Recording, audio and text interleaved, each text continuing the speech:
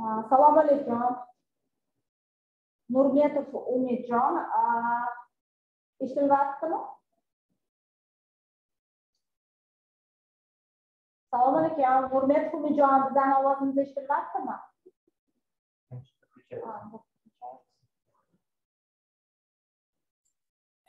endi подключение bo'lyapti shekilli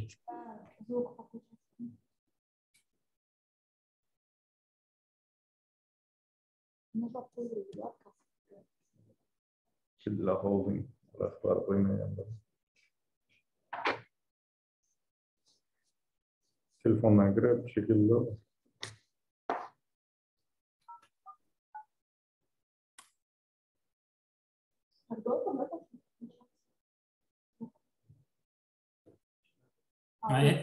endi ulan assalomu alaykum nurbek umijon eshitilyaptimi bizani ovozimiz umidjon nurmetov eshityapsizmi bizani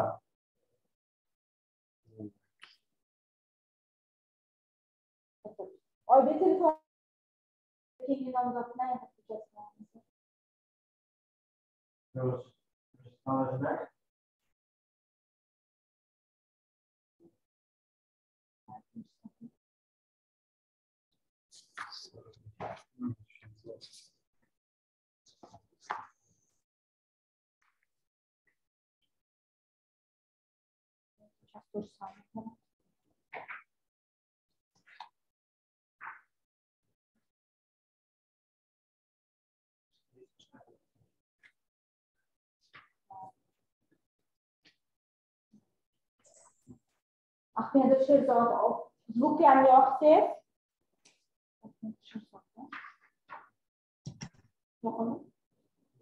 ahmedov sherzod bizani eshityapsizmi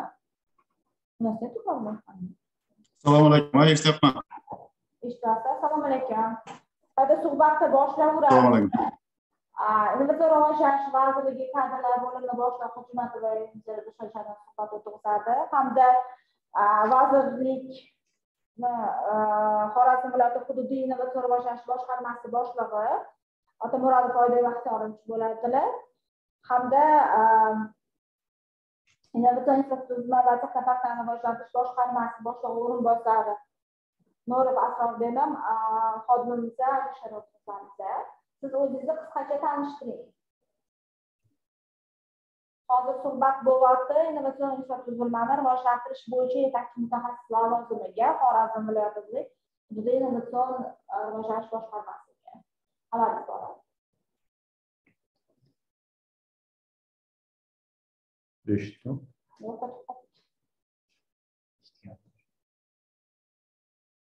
Assalomu assalomu alaykum. Yetakchi mutaxassisga adashib qoldi rahmat bu ham osilib qoldi anaqa oybek ana birinchi nomzod nima dedi zvukida muammo. Xorazmda internet muammo shekilli. Hali ro'zmetovni aytyapsizmi? Birinchisimi? Birinchisi. U hozir qaytadan zal ожиданияda turibdi u kirib. Ana qaytib kirdi ha uzilib qoldim. Sherzod eshitdingizmi? Man anaqam qisqacha tanishtiring o'zingizni. O'zim sakson yettinchi yilman. Ismim sherzod faynahmedov bor keyin ikki ming o'n birinchi yilda toshkent davlat iqtisodiyot universitetini tugatganman magistraturani bakalavriat ikki ming o'n to'qqizinchi yilda o'sha universitetni tugatganman. Keyin ikki ming o'n birinchi yilda tashqi aloqalar investitsiya savdo vazirligini xorazm viloyat boshqarmasida ish faoliyatini boshlaganman birinchi darajali mutaxassislikdan keyin yetakchi bosh mutaxassis bo'ldim. Keyin vazifasini vaqtincha bajaruvchi bo'ldim bir yil. O'shandan keyin struktura o'zgarib tashqi vazirligi bo'ldi. Tashqi vazirligini xorazm viloyati bo'yicha vakili vakolatli vakili lavozimida ishladim. Undan keyin u ham tugagandan keyin e, struktura o'zgarib turibdi shu o'zgargandan keyin xorijiy investitsiyalar jalb qilish agentligini xorazm viloyatidagi vakili bo'ldim keyin. Keyin e, bu agentство ham ikki ming shu ikki ming yigirma birinchi yil э, may oyida tugatildi. Sakrashgan tushgandan keyin э, vaqtincha ikki oy ishsiz yurdim. Э, keyin tadbirkorlik rivojlantirish agentligi agentligiga ishga kirdim. Argos orqali test topshirish suhbat bosqichlaridan o'tib keyin u ham o'zgargandan keyin hozir mahallaviy ishlash va tadbirkorlikni rivojlantirish agentligini xorazm viloyat boshqarmasida mutaxassis ishlab kelyapman bugungi kunda hali shu struktura endi shakllanish jarayonida hali prikazlar chiqqani yo'q ish faoliyatim topshirgan dokumentingizda hozir ishlayotgan joyingiz ko'rsatilmagan oxirgi turibdi savdo Yo'q. Hop, mana shu так. Tashqi savdo vazirligida ishlagan paytingizda asosiy funksional vazifalari nima bo'lgan sizda o'zi? asosiy funksiyalarimiz eksportni e, ko'maklash eksportga uni e, prognozlari bo'yicha ishlash prognozlariga erishish uchun biza qo'limizdan kelgan e, tadbirkorlik subyektlariga прямой qolaversa shahar tuman hokimi o'rinbosarlari bilan прямой ishlab o'sha chet eldan xaridor topish masalasi bo'yicha ularni kommersiyalardan olib elchixonalarga yetkazish u yerda savdo maslahatchilarga yetkazish ishlari bilan shug'ullanganmiz. Shu viloyatni полный eksport strukturasida qanaqa tizimda qanaqa nimalar bo'ladigan bo'lsa o'sha bevosita viloyat hokimi birinchi o'rinbosari bilan birgalikda e, eksport masalasiga javob berganmiz o'sha. Iqtisodiy taraqqiyot kambag'alchilikni qisqartirish vazirligida ishlaganingizda funksional vazifa nima bo'lgan? O'tib bu joyda uch oy ishladingizmi? Oxirgi funksional vazifa.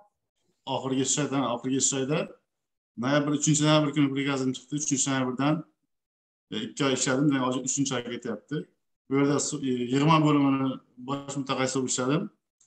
Hozir e, o'sha tadbirkorlikni biza shug'ullangan e, paytimizda o'sha e, tadbirkorlik rivojlantirish uchun qanaqa imkoniyatlar mavjudligini tadbirkorlarga yetkazish e, ular shu berilgan imtiyozlarni tadbirkorlarga yetkazish keyin e, nodavlat notijorat tashkilotlari bilan bevosita ishladik bundan tashqari nodavlat ta'lim tashkilotlarida o'qiydiganlarni e, o'quvchilar bilan ishladik reyestrga kiritilgan o'quvchilar bilan. E, ularni kompensatsiya qilish tartiblarini tushuntirib e, keyin kichik biznes subyektlarini tashkil qilish bo'yicha ishladik.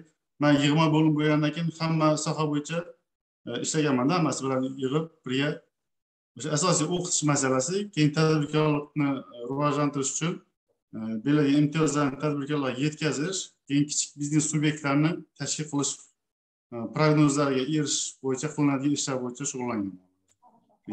Hozir e, innovatsion infratuzilmani rivojlantirish bo'yicha yetakchi mutaxassis lavozimiga topshiryapsiz.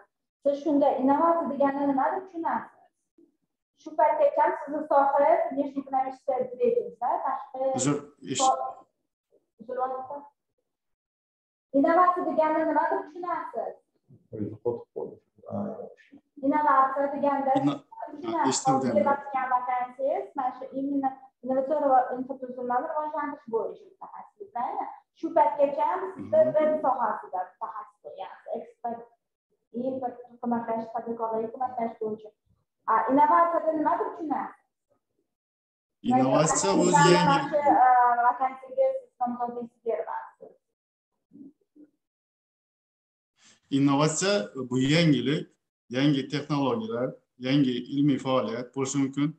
Umumiy tushunchasi bu yangilik e, degan ma'noni bildiradi. Yangilik e, innovatsiya bo'lishi uchun raqobat bo'lishi kerak bo'ladi. Bu raqobat qayerda paydo bo'ladi? Raqobat innovatsion infrastruktura e, bor payt bor joyda infrastruktura yaratilgan joyda paydo bo'ladi. Ya'ni innovatsion infrastruktura o'sha e, innovatsion g'oyalar ularni e, shu g'oya tug'ilgundan turib e, ishlab chiqarishgacha o'tgan e, pog'onalarni bosib o'tish uchun sharoit yaratib beradigan majmua innovatsion infrastruktura bu bo'lishi mumkin ilmiy texnologik markazlar bo'lishi mumkin ilmiy institutlar bo'lishi mumkin o'sha innovatsion infrastruktura deb aytiladi.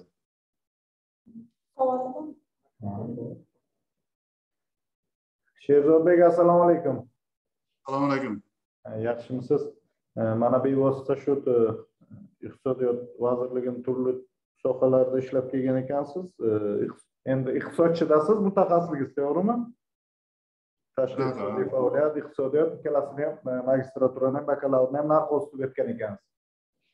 Mana hozir e, innovatsiya bo'yicha tushunchalaringizga sal pal eshitdik berilgan javoblaringizni umuman mana hozir o'zi talabgor bo'lib turgan lavozimga innovatsion infratuzilma bo'yicha yetakchi mutaxassislikka lavozimga talabgor bo'lib kelyapsa innovatsion infratuzilma deganda nimani tushunasiz innovatsion infratuzilma deganda chunki bevosita sizni ertaga tayinlangan taqdirda ham bevosita qiladigan ishingiz mana shu hududdagi innovatsion infratuzilmani faoliyatini muvofiqlashtirish rivojlantirish masalalariga mas'ul bo'lib qolasiz innovatsion infratuzilma o'sha e, boya aytgan innovatsion e, jarayonlarni amalga oshiruvchi struktura. Ya'ni bu bo'lishi mumkin. It parklar e, innovatsion hududlar innovatsion ilmiy texnologik markazlar bular o'sha innovatsiya faoliyatini amalga oshirish uchun sharoitlar yaratib beriladigan obyektlar majmua deb tushunsak bo'ladi. Innovatsion infrastruktura. Yaxshi. Yana bir savol. Mana bu startap loyiha haqida tushunchangiz bor a startap nima ekanligini bilasiz startap ha startap startap eshitganmisiz shuni? Startap startap degan tushunchadan eshitganman nima ekan eshitganman aytingchi startap tushunchaningiz bilan ha ha startap bu o'sha innovatsion g'oyani ishlab chiqarish e, e, ishlab chiqarish bosqichigacha e, yetkazish. Ya'ni misol uchun innovatsiya g'oya tug'ildi o'shani yangi g'oya tug'ildi yangi ishlab chiqarish joriy qilish uchun keyin o'shani tijoratlashtirib o'shani ishlab chiqarishga bu bo'lishi mumkin iqtisodiy bo'lishi mumkin yoki ijtimoiy bo'lishi mumkin. O'shani ishlab chiqarishga yo'naltirilsa o'sha startap loyiha deb tushunamiz startap loyiha bu biznes loyihami yoki ilmiy loyihami?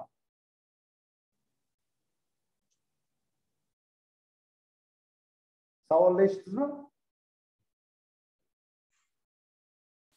startap loyiha bo'yichami ha startap loyiha bu biznes loyihami yoki ilmiy loyihami?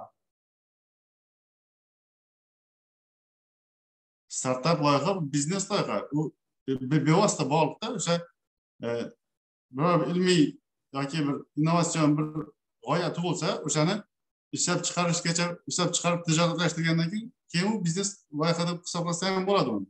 Ishlab chiqarishga bevosita yo'naltirish uchun e, shakllangan nimada startap bo'ladi o'shanda rahmat. Manda savol yo'q eshitamayapti yo'q hozir.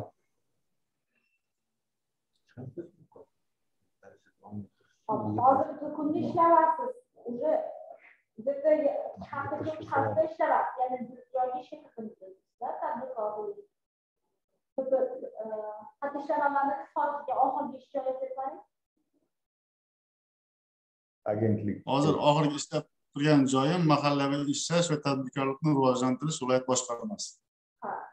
Endi demak deyarli u yoqda hali qancha ishlamasdan turib boshqa topshiryapsizda nima sababdan unaqa oldingilarni tushundim сокращение bo'lib yopilingan lavozimingizda hozir mana ishga endi kirishdingiz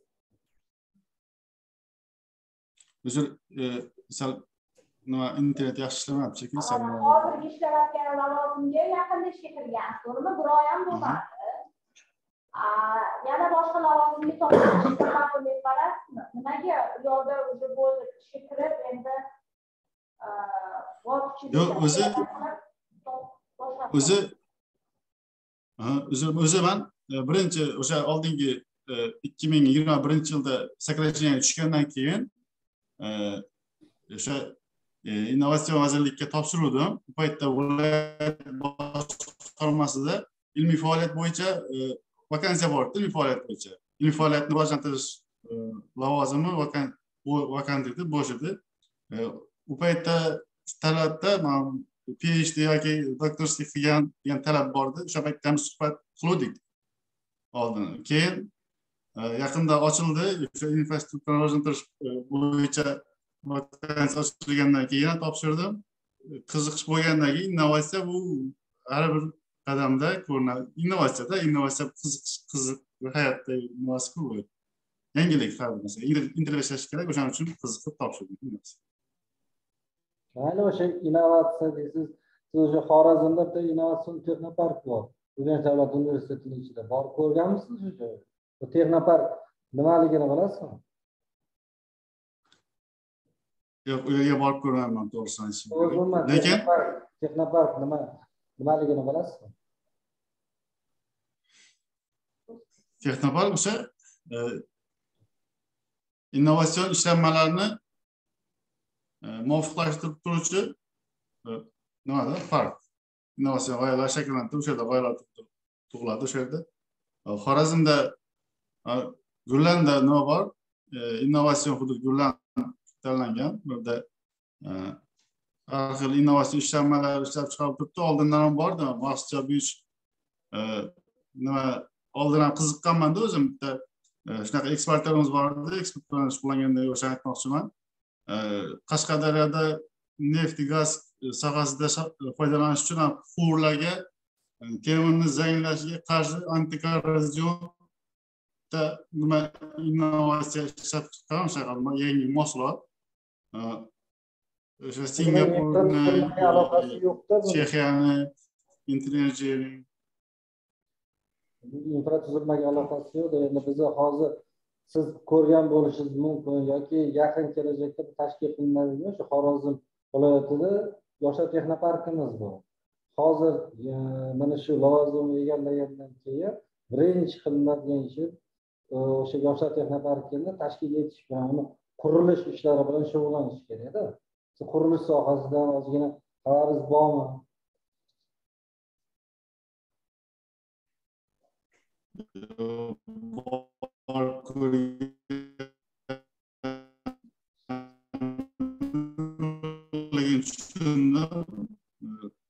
Shehzod berdi связь anaqa yomonlashyapti mayli suhbatingiz uchun rahmat. Suhbat natijasini e'lon qilamiz ho'p rahmat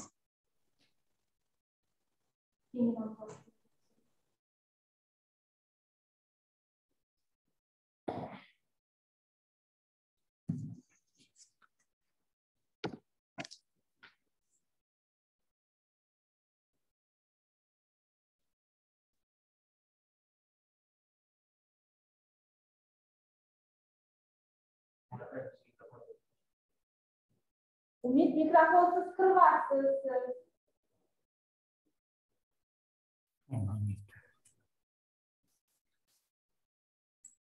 bizani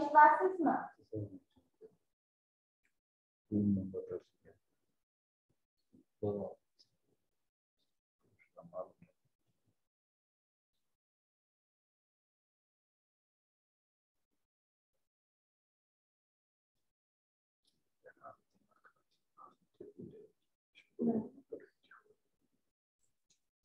umidjon eshitildimi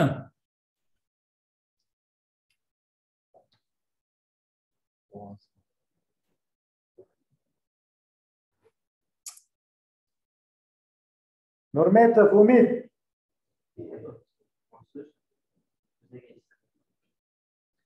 o'zimni mikrofoni yo'qmi yo'q uni aytsan bermayapti masalan Ha, dişim okul değil mi?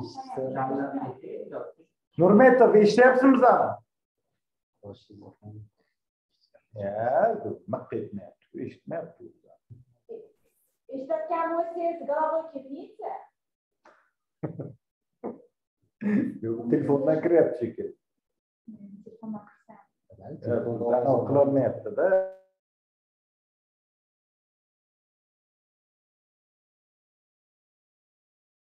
Qilolmayaptida hozir bu telefonda gaplashib yuboring yana bir odam bilan telefonda gaplashib o'chib qoladi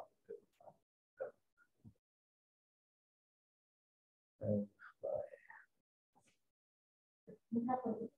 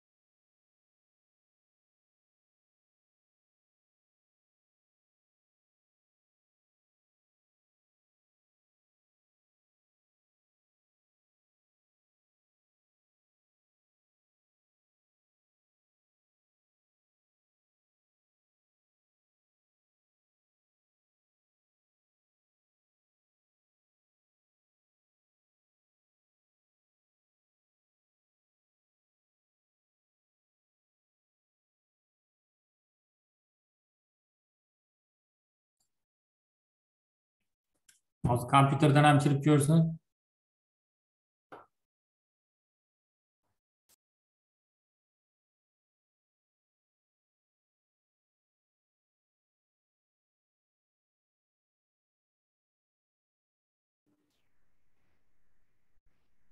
assalomu alaykum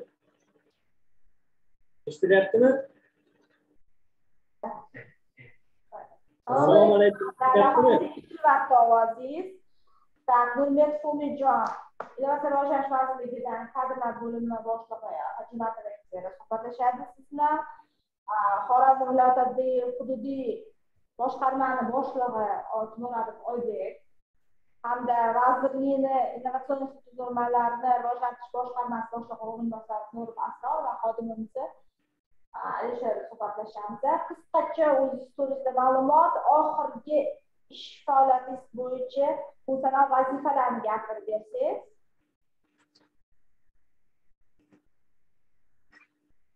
endi asta kelyapti ovoz eshitmadim savol qisqacha o'zingizni ma'lumotingiz to'g'risida bersangiz va ham oxirgi ish joyingizni funksional vazifalarini o'ziga Xorazm viloyat kengashi deputatlik siyosiy ta'lim va deputatlik guruhlari bilan ishlash bo'lim mudiri lavozimida ishlayman. Eshitilyaptimi? eshitilyapti gapiravering gapiravering gapiravering ha Eshitilyaptimi? eshitilyapti ha Xorazm viloyat kengashida oltmishta deputat bo'lsa, shundan yigirma bittasi o'zi deputat saylangan va shu deputatlar bilan keyin tuman shahar kengashlaridan saylangan deputatlar bilan ishlayman. Oliy Majlis Tojik palatasi deputatlari bor, Xorazmdan saylangan deputat saylangan. Keyin senatorlar bor. Mana shular bilan ishlayman. Xo'p, Umidjon, siz innovatsion infratuzilmalarni rivojlantirish bo'yicha yetakchi mutaxassis lavozimiga nomzodingizni qo'yyapsiz. Demak, innovatsiya deganda siz tushunchangizni gapirib bersangiz, innovatsion infratuzilma nimaligini gapirib bera olasizmi? Innovatsiya bu yangilik degan nimani bildiradi? Innovatsiya yangilik bo'lgani emas, yangilik degani innovation bo'ladi. Lekin innovation bu mazmuni boshqacharoq. Siz более обширно gapirib bera olasizmi? Buni obshirga gapiradigan bo'lsam, e, masalan, qishloq xo'jaligida, e, ilm fanda, e, tabiatni muhofaza qilishda masalan innovatsiyalarni joriy qilish mumkin. Undan tashqari bu vazirlik shu respublikada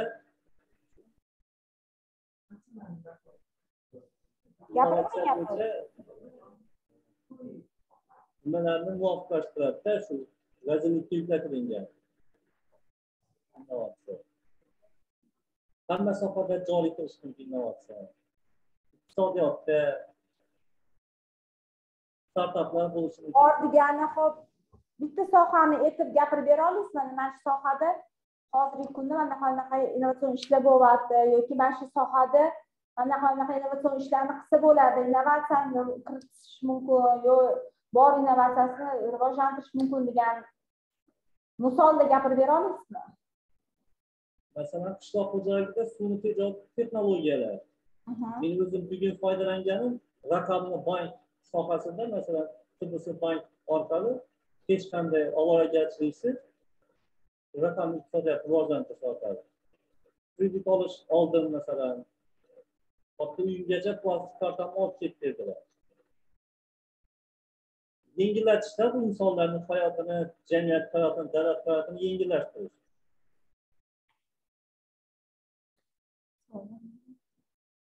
nurmetov Navbat ha, eshityapsizmi E, mana hozir e, savollarga javob beryapsiz e, innovatsiya innovatsion infratuzilma haqida e, endi o'zingiz e, bilgancha o'zingiz o'qigancha javob beryapsiz. Umuman innovatsion faoliyat mana innovatsiyani aytyapsiz yangilik boshqa narsa deb o'zizni tushunchalaringizni aytyapsiz. Innovatsion faoliyat nima? Innovatsion faoliyat haqida tushunchani o'zingiz bilganingizni ayting qani? Nima degani u innovatsion faoliyat? Yangilik kiritish degani ixtiro kashfiyot masalan. Yangi biror narsa yangidan o'zgartirish kiritish masalan. Yangicha talqinda qilish. Masalan tankini yondash ham ishlanma nima? Ishlanma. Ishlanma haqida tushunchangiz bormi? Ishlanma nima u? Ishlanma startap loyihasi bo'lishi mumkin masalan. Startap loyihasi bo'lishi mumkin. Ishlanma masalan. Sal qattiqroq gapiring bizga shun bilan kelyaptida tovushingiz tushunarsiz kompyuterda gaplashyapman shunga shunaqa bo'ladi. Mikrofon sal sal uzoqroq turing mikrofondan sal qomatingizni ko'tarib uzoqroq turing tushtirishga ham keladi tovushingiz ishlanma nima ishlanma haqida tushunchangizni aytib beringchi. Ishlarni biror loyihada oladigan bo'lsak boshidan oxiriga oxirigacha qilinadigan ishlar bosqichma bosqich yoziladida ana shu ishlanma deb o'ylayman yaxshi bormi savol oybek savolingiz bormi yo'q menda savol yo'q umidbek mana siz iqtisodchi emas ekansiz lekin bizni bizni vazirligimiz qanaqa loyihalar bilan asosiy shug'ullanishi to'g'risida qiziqib ko'rdingizmi? Innovatsion loyihalar qanaqa loyihalar innovatsion loyihalar? Innovatsion loyihalar masalan e, sayt saytga kirib ko'rdim e, nima vazirlikni saytiga kirib ko'rdim. Mirzo ulug'bek e, nimasi bor ekan? Loyiha yangi keyin agroklasterda yetishtirish bo'yicha bor ekan nimalar yangiliklar bor ekanda har xil har xil sohadagi loyihalar bilan ishlaydi imitatsiya institutlari bilan ishlashi mumkin. Buni buyurtmachisi bo'lib universitetlar bilan ishlashi mumkin. Tijoratlashtirish deganda nima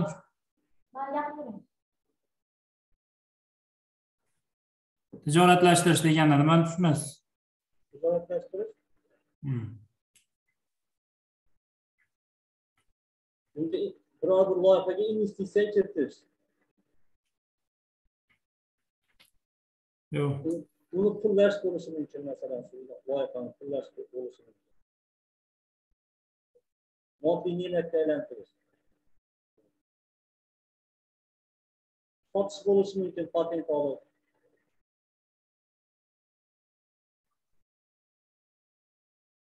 endi tijoratlashtirish loyihasi endi bizni vazirligimiz e, shu asosan ilmiy loyihalar nimalar e, bilan shug'ullanadida. Bu to'g'ri bu investitsion loyihalar ham bor innovatsiyasi bor. Asosiy bizni nimalarimiz shu startap loyihalar tijoratlashtirish loyihalari shuning uchun bularni bilish kerak bo'ladida. Buyurtmachi bo'ladida vazirlik ko'pincha. shunga umidjon manda yana bitta savol bor qani hozir ko'ryapman siz bo'lim mudiri bo'lib ishlayapsiz berayotgan nomzodingiz yetakchi mutaxassisga bu yerda hozir lavozimingiz e, pastga tushadi. Nimaga unaqa hamma karyera qilaman lavozim oshsin deyishadi. Siz nimaga ayni bir qadam emas даже ikki qadam pastga tushyapsiz?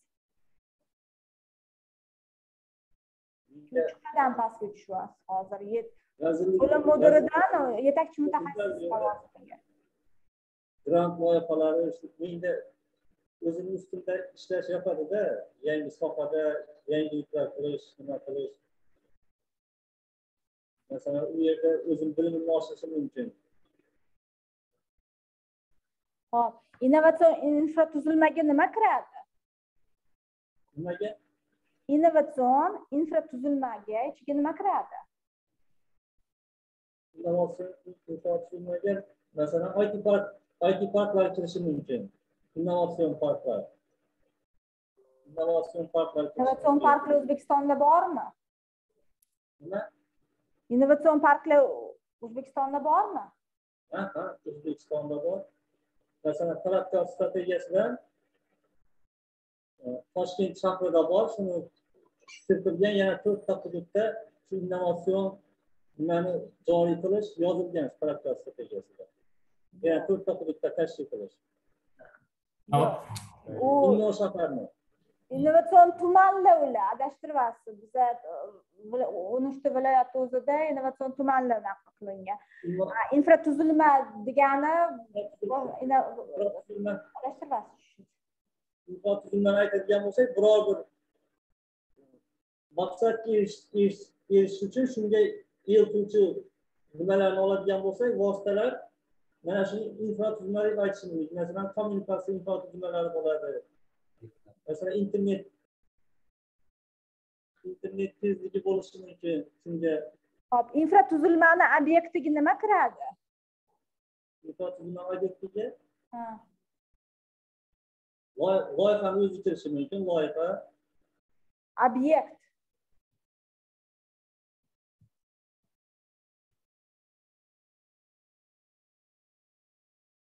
obyekt bu binolar bo'lishi mumkin yo'llar infratuzilma bu e, kommunikatsiyalar. A, innovatsion infratuzilmaga biri e, texnoparklar bo'ladi kiradi. Hozir e, viloyatlarda qurilyapti texnoparklar. O'zbekistonni o'zida it texnoparki ham bor u boshqa unaqa направление bo'yicha ishlaydi. A именно texnoparklar bor. Vazirlikni huzuridagi bu saytimizga kirib ma'lumotlarni olib keyin ikki ming yigirmanchi yilda innovatsiya bo'yicha qonun chiqqan. Uni bir ko- ko'zdan ko'rib o'qib aqmaganmiz tanishmadingizmi? Suhbatga tayyorgarliklar qo'yayotganingizda. Yo'q nima bilan tanishdim? Innovatsiya indeksi bilan tanishdim o'zbekiston qan- qancha nechanchi o'rinda turganligi bo'yicha. Ana shular bilan tanishdim vazirlikni apparati bilan tanishdim. Vazirlik qachon tashkil qilinganligi bilan ana shular bilan tanishdim. Qonunni o'rganib chiqmadingiz yo'q yo'q qonun qonunda полный innovatsiya nima degan tushuncha berilgan. Innovatsion loyihalar nima nima qaysi loyihalar kirishini batafsil ma'lumoti bor. Infratuzilma to'g'risida texnoparklar to'g'risida ma'lumotlar bor. Endi o'zingiz uchun bir shu qonunni topib yigirmanchi yil iyun oyida chiqqan olti yuz o'ttizinchi sana qonun. O'zingiz uchun o'rganib chiqing. Sizni ishlaringizga omad rahmat suhbat uchun. Sog' bo'ling. Chiqib ketursangiz bo'ladi. Chiqib ketavering умеешь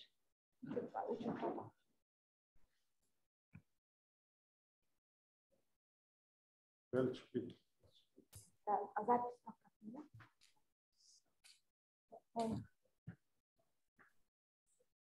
boshqa nomzodlar yo'q bittasi o'zi отказ qildi kirmadi suhbatga yo'q дополнительныйga kiringda дополнительныйga kiring o'shaning ichida bo'lsa kerak